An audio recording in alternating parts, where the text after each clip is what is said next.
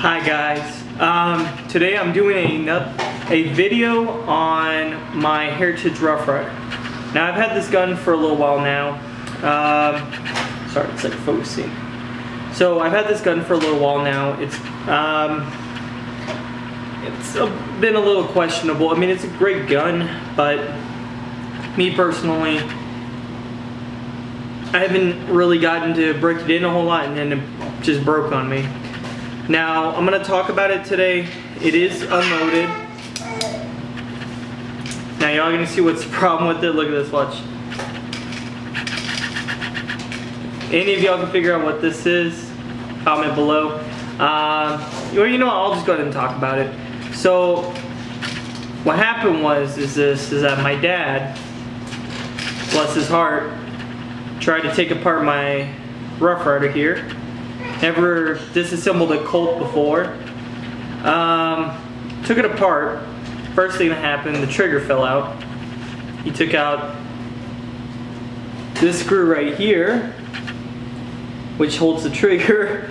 And yeah, then in the process of trying to disassemble everything, he was unscrewing everything, told me, I got this, don't worry about this and he ended up pulling on the cylinder hand and, and snapping the spring that was attached to it right off. Great gun, except for the fact that it's uh, that the cylinder hand came off. So, as I was saying, it is com completely empty.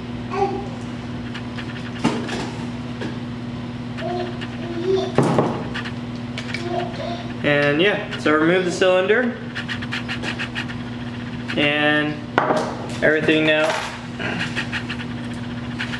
Right here in the inside, I don't know, wait for it to focus, a new camera. So this right here, the cylinder hand, I don't know if y'all can hear that, that's me tapping on it and it's hitting the back of the wall here. So this gun cannot cycle the cylinder. Only way it will is if I lean it forward like this so that it can come out. But even then, watch this. The spring is gone completely. So, what's it called? Um, I actually called the manufacturers, Heritage Arms, and they were actually very generous and they they're sending me a free uh, new cylinder hand with the spring assembly. So I've already watched plenty of YouTube tutorials on how to disassemble it. I looked at the manual and the parts and everything. It's actually very simple to completely disassemble this uh, firearm here. Um, when I get the part I will do a instructional video on how to disassemble this and uh, properly and reassemble it. And yes, I believe it or not, over the course of over a year, I have um, actually disassembled di different weapons, stuff like that, M16A2s, um, M6, um, M16A4, a uh, SAW, a 240 Bravo, a 240 Charlie.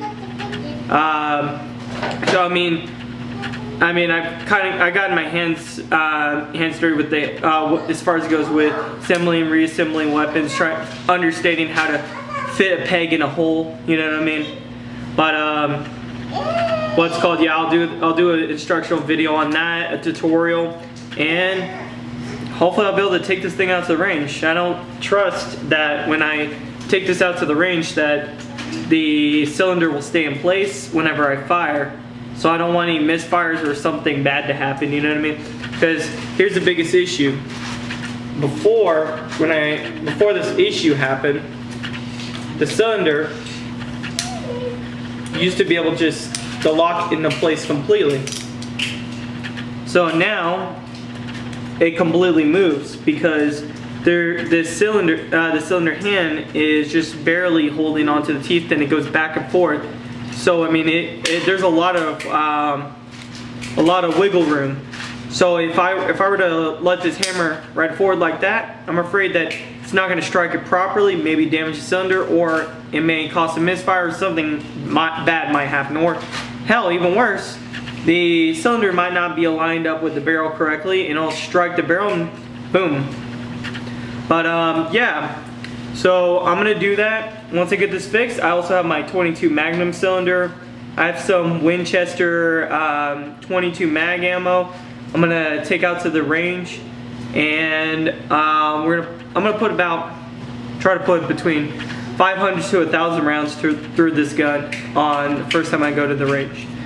Um, thank you for watching guys. Uh, I'll be doing more videos um, the next couple of days and um, hopefully you'll tune in and please like and subscribe and I'll put up more videos.